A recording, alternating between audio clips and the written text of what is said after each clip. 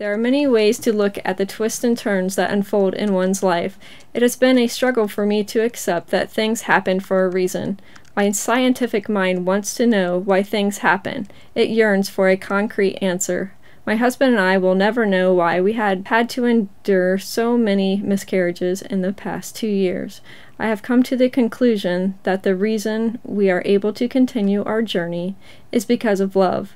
Love is stronger than fear and sorrow. The love that we have tells us that the pain and suffering will be worth it the moment we finally see the little flicker of a healthy heartbeat on ultrasound day.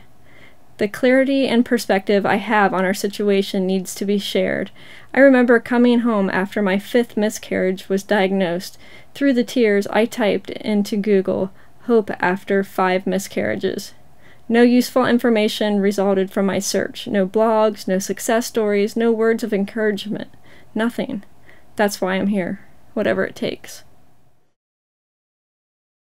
So in April 2011, I started a blog called Whatever It Takes, and it was basically to uh, just put out my story, kind of uh, a therapy to myself because I, I felt like I was coherent enough and had a clear head and was able to articulate the story that we had been through and also to to reach out to people that that have maybe been through something similar or uh, are going through it at that time. It was not until my fifth miscarriage that I started feeling things bother me more and more. Comments that people made, pregnant women, and anything related to babies were all so traumatic, I became dysfunctional, refusing to go out in public in fear that I would be exposed to one of the many sensitive issues I was battling. About a year ago, I decided that it was okay to protect myself. I think we can all agree that having five miscarriages in less than two and a half years is absurd, unfair, etc., etc. I sometimes feel like I should be heavily medicated, shaking in a corner somewhere. Surprisingly, I'm not. Somehow I find ways to cope with the sadness and grief that I feel. I talk about what bothers me, I write about it, and skateboard, because that's the only way I know how to deal with hardship. I have to be honest with myself. All I really needed to know, I learned from struggling with infertility. Number one, don't take anything for granted. Number two, pushing away family and friends during tough times only makes you feel more isolated. Number three, your friends will not think any less of you if you cry in front of them. Number four, a quick answer doesn't heal years of pain. Number five, horrible things happen to good people.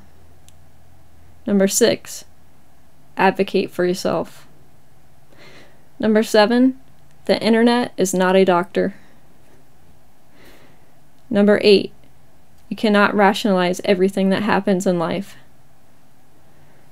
Number nine, people say the worst things at the worst times.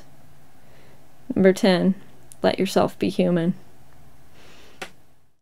I have followed my heart in making the decision to press on with our journey. The more thought I gave to the idea of abandoning this dream, the more I realized that I couldn't live with myself if I knew there was still a chance things could work out. My choice may be extremely risky, and more pain and heartache could be in our future. Our doctor said it best you can't win the game if you don't play. With a clear mind and a heart full of love, game on. I never thought I would have a blog and divulge details about my personal life to anyone willing to read. I also never thought in a million years I would endure what I have through my journey with infertility. Going through what I have in the last three years has changed me for better and worse. I am more distracted, anxious, and emotionally fragile. On the positive side, I have realized how strong of a woman I am, the magnitude of friendship, and the power of love. I don't have the magical formula that will help others get through what I have and still come out in one piece. I only know what works for me and how I survived this far. Sometimes I think it's the skateboarder in me that knows what it's like to take falls over and over again to reach a goal, to land a new trick. The euphoric high once the goal is achieved is amazing, and the pain, suffering, and time spent to get there is all worth it. it actually was well received, and a lot of people were hitting me up on Facebook saying, like, you know, wow, I, I didn't know that, and I had a miscarriage, or I had two miscarriages, or I had four. A really good friend of mine had four at that time, and I had no idea. So people just don't talk about it. It's it's one of those things that I don't know why. I guess it's just our society that that uh, it's not acceptable or it's uncomfortable for people to talk about. So I was just trying to break the silence and get it out there a little bit that women go through this and it's really hard to just get up and go every day and do the same thing every day when you're dealing with this.